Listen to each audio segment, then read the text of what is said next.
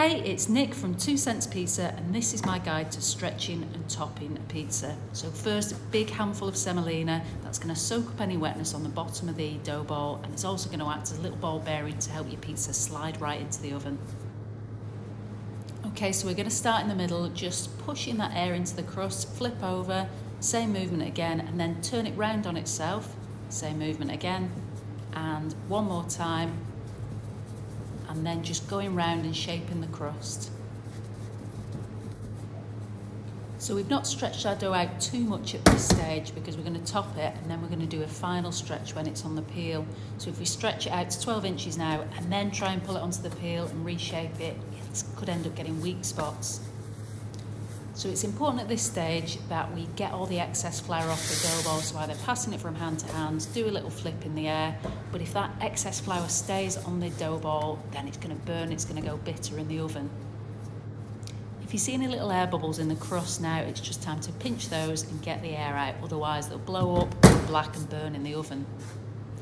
Okay, now one spoonful of tomato, just dead in the middle, and then spread that out with your ladle.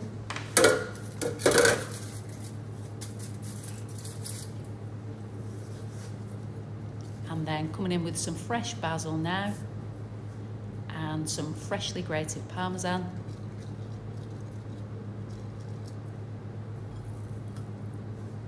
Then our buffalo mozzarella.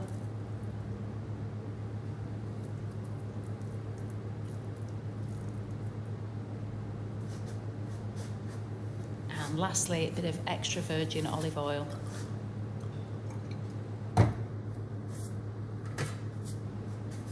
Okay, we're going to pull our pizza onto the peel now. So a little sprinkle of semolina to help that along and then hold it one side and just pull on. Don't be worried, your dough should be nice and strong so you're not going to rip it.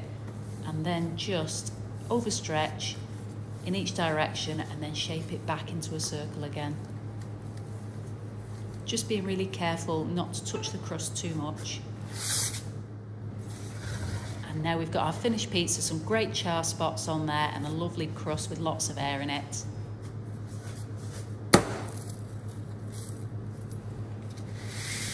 Thanks so much for watching and if you've enjoyed this video, please like and subscribe.